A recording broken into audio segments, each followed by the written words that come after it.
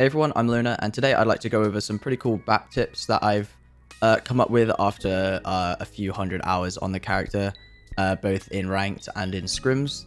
Uh, and uh, I'd like to share what I've learned with him and show you some cool stuff you can use to improve and climb the ranks.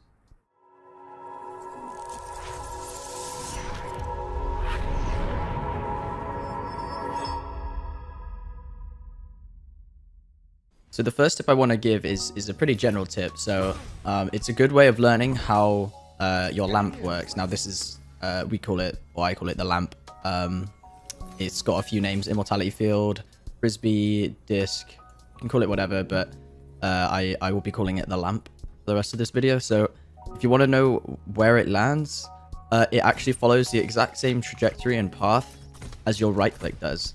So let's say I wanted to place it just on the corner here there, I can just line it up with a few right clicks and then uh, let it fly and it follows the exact same path.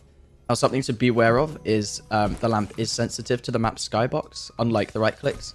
So uh, with the right clicks you can send them up, up, in the air, but if I do the lamp, you see it will bounce, bounce off the roof of the map and land even before I sent those. So uh, the lamp is sensitive to the map's skybox, so you can't really throw it like across the map uh, as much as you can your right clicks.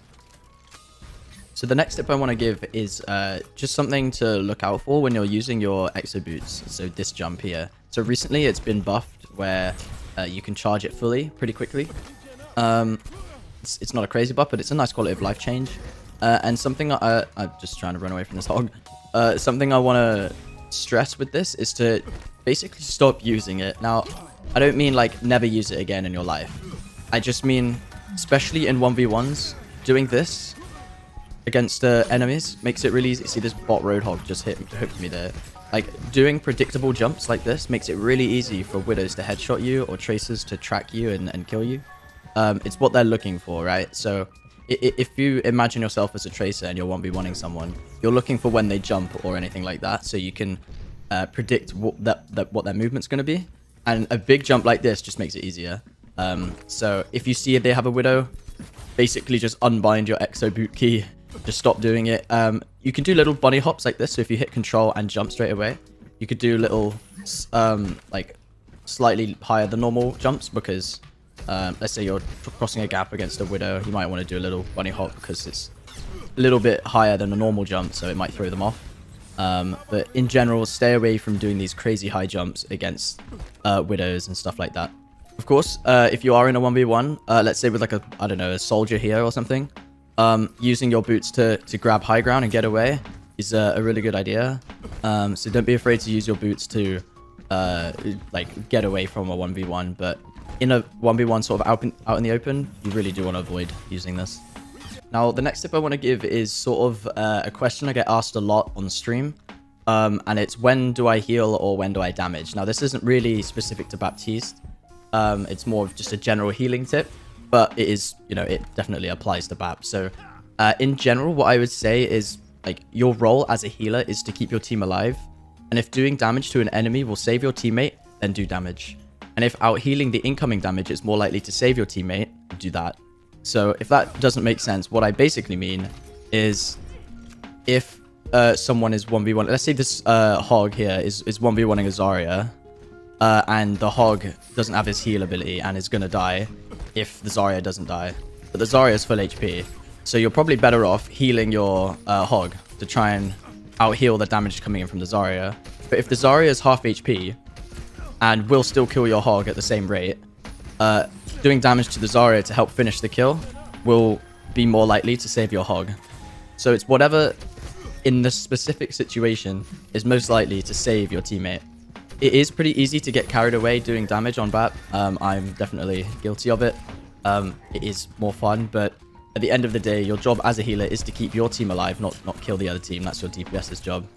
So uh, often you want to be making sure you're keeping your team alive by healing at the right times or doing damage at the right time. And it all depends on what the situation is. The next tip I'd like to give is uh, about the uh, lamp usage or the immortality field usage.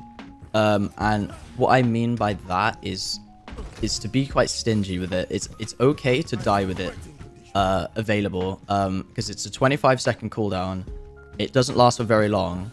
Um, and I think in quite a lot of situations, it's probably better to die with it rather than panic and use it and then not have it for when you need it. So um, be stingy with it. Don't throw it out at the last second every time. If someone like gets peeked and headshot by a, a widow, then that's kind of their fault. You're not really supposed to use a lamp for that.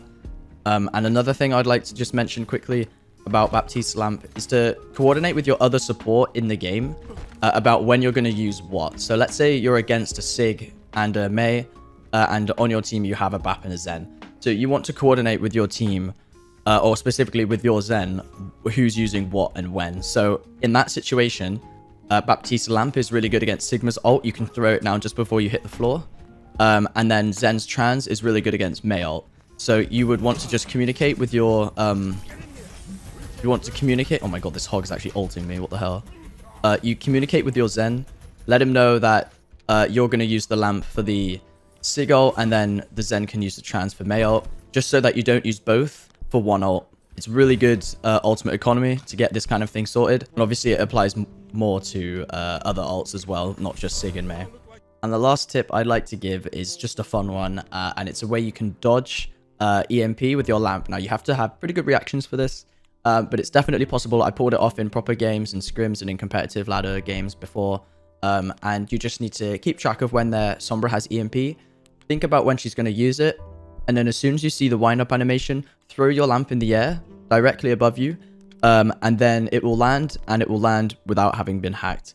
Uh, be careful if you're inside and you do this because it could hit the ceiling. Uh, but if you do time it right, you can still do it inside. So fun fact, uh, send me some clips of you doing this in ranked games. I'd like to take a look. Okay, guys, so that was pretty quick. Uh, I hope you enjoyed that uh, video on Baptiste tips to climb. I hope they help you. Uh, if they do, let me know in the comments.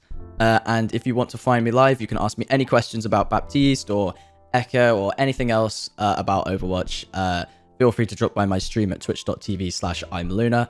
I'm live every day of the week apart from Monday and Wednesday, and on Fridays we do some really fun community streams, so you can also hang out and uh, have some fun without Overwatch as well. So thank you all so very much for watching, uh, and I hope to see you soon. Nice. Chat, you can you can go here. This is a fun spot.